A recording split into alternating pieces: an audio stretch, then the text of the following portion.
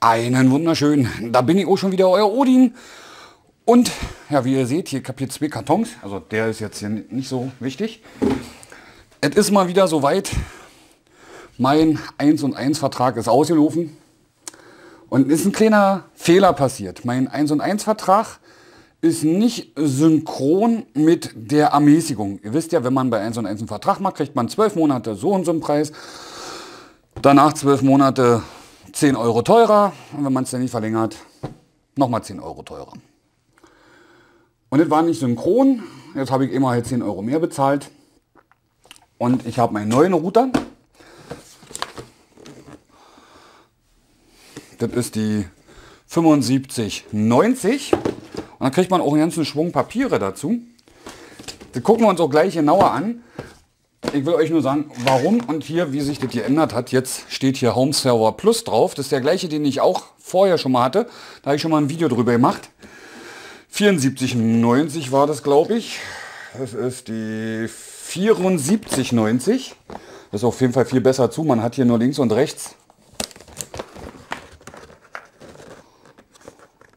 so Klebestreifen. So. Uff. So. Und hier ist er. Ich werde auch die, Schutz, oh, die Schutzfolie nicht abmachen. Und auch alle so verpackt lassen. Ich, ich habe ja dazu schon mal ein Unboxing gemacht. Ähm, warum ich jetzt meine, mein, also kam auch zur gleichen Zeit an. Also das kam heute früh an, wo wir und, äh, kurz nachdem wir wieder da waren. Und heute Mittag kam dann halt das Neue an. So. Da muss ich nur nachher noch den, die Box rausnehmen, die Kabelei rausnehmen und die alte Kabelei rein und dann geht das an 1 und 1 zurück. Also nicht die, sondern meine alte Box, weil die hat einen Fehler. Immer wenn, wenn ich auf, also steht immer in der Box da ähm, un, un, unerlaubte Veränderung der Software oder so, obwohl ich da nicht gemacht habe.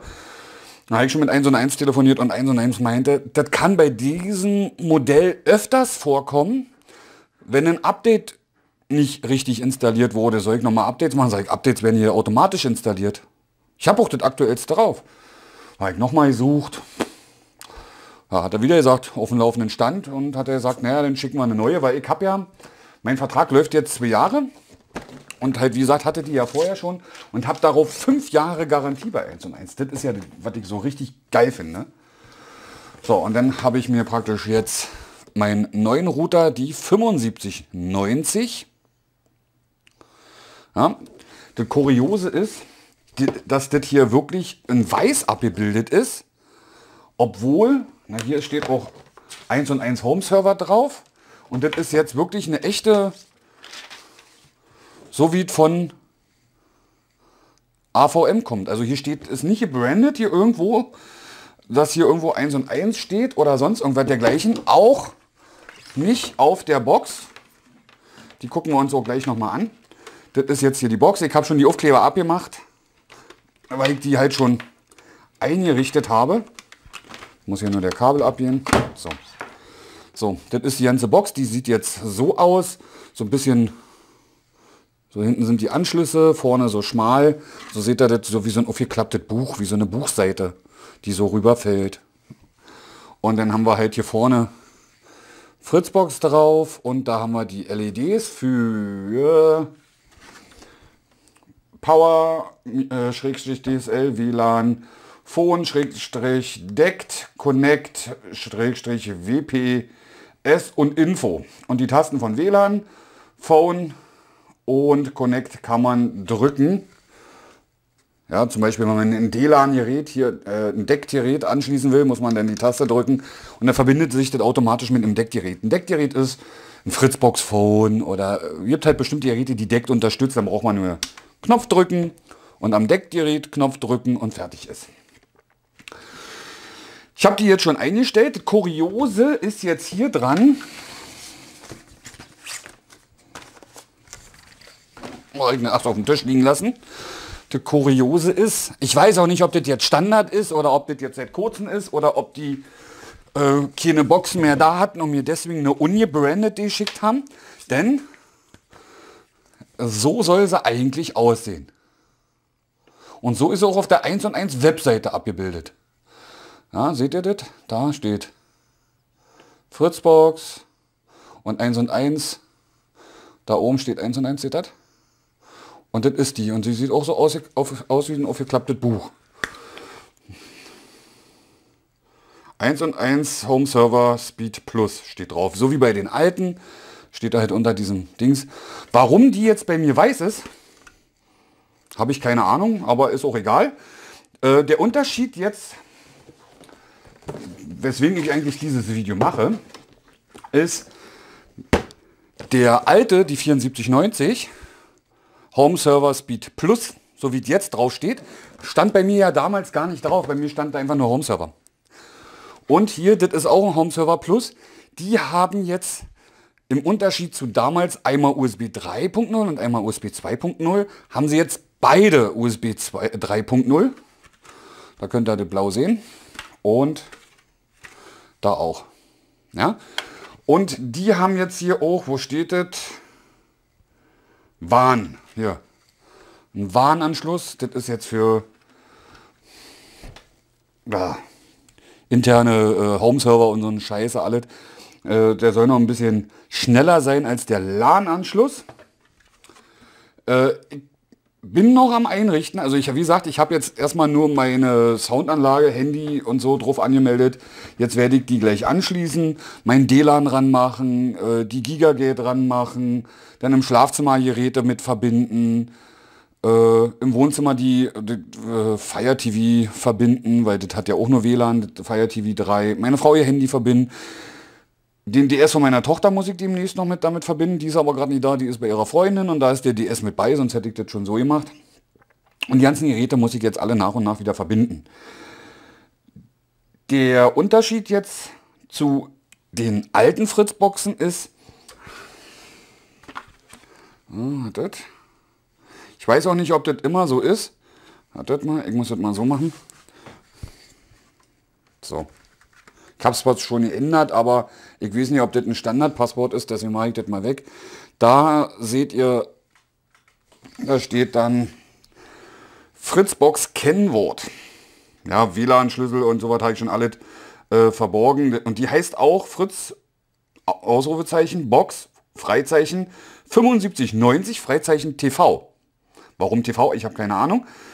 Äh, und die haben jetzt gleich ein, Box, äh, ein, ein Passwort vorgefertigt. Im Gegensatz zu den alten Boxen, wenn man sich da angemeldet hat, man hat Strom angemacht, hat einen PC angeschlossen, ist auf fritz.box gegangen, musste man dann, hat dann die Box gefragt, ey, was möchtest du für ein Passwort haben?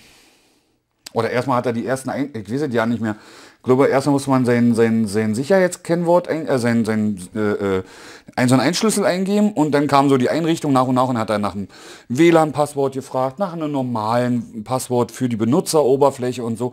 Das ist jetzt hier ganz anders. Wir starten gleich mit der normalen Benutzeroberfläche. Es wird gleich nach einem Passwort gefragt. Erst dann fragt er, willst du mit der Einrichtung beginnen? Und dann kommt auch dieser Sicherheitscode. Hier, Wobei hier auch wieder anders ist. Früher braucht man den Sicherheitscode nur einmal eingeben, dann hat er automatisch losgerattert.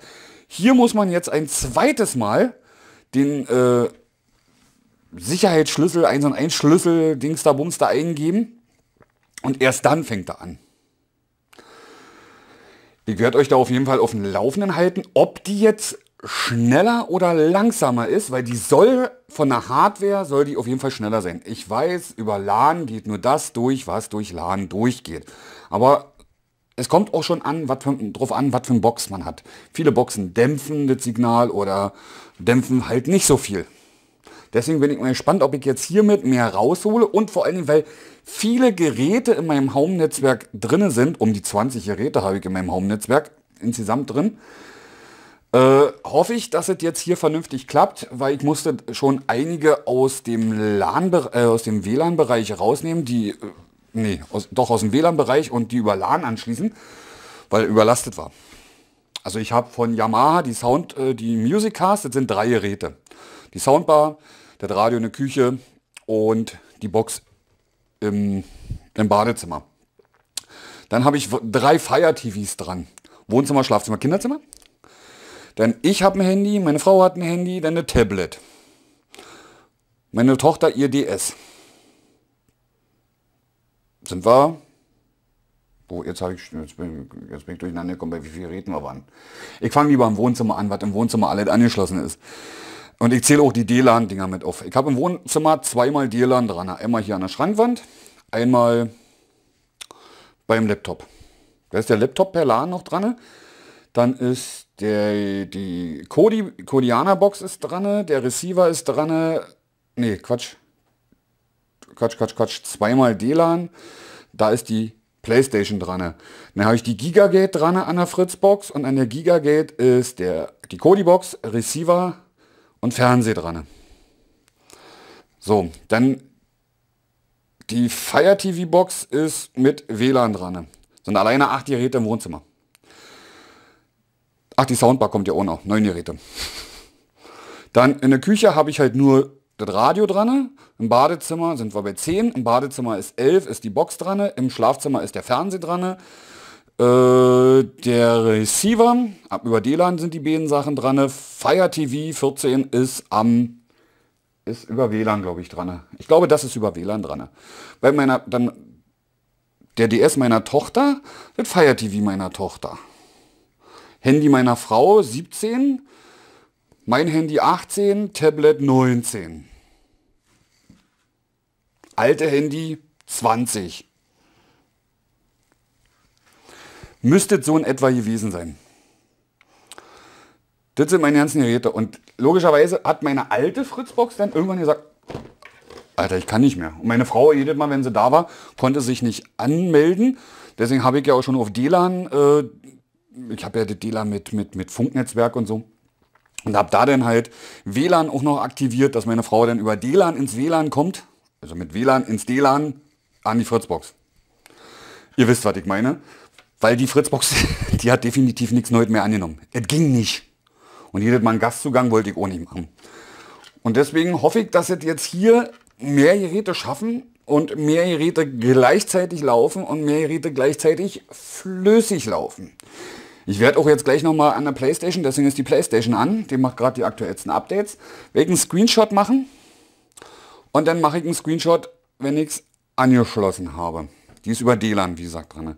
Dann werde ich die Ports freigeben per Hand, mache nochmal einen Screenshot und die werde ich dann bei Instagram und bei Facebook posten, da könnt ihr die dann sehen. Na, Instagram nicht, ich werde sie bei Facebook posten. Vielleicht mache ich auch nochmal ein separates Video darüber, ich weiß es nicht. Mal gucken. Das wollte ich euch eigentlich nur so, ist schon wieder viel zu lang geworden, das Video, länger als ich eigentlich wollte. Wie gesagt, ich habe die neue und kurioserweise weiß anstatt schwarz. Da oben fällt es nicht auf, aber sieht ganz schnucklig aus, weiß-rot. Ja, wenn ihr da Fragen habt, kann ich sie euch demnächst zu beantworten. Jetzt noch nicht, also da müsst ihr mir jetzt ein bisschen Zeit zum Testen geben. Also ein bisschen, also nur ein, zwei Wochen brauche ich schon, um alles mal anzuhaben und äh, im Dauerbetrieb zu testen, um da überhaupt eine Meinung zu haben, ob schneller, ob nicht schneller und wo da Fehler auftreten können. Bis dahin würde ich mich jetzt hier erstmal verabschieden. Hoffe, hat euch gefallen. Wenn es euch gefallen hat, lasst einen Daumen oben da. Ich bin dann mal weg. Ahoi. Sagt euer Odin.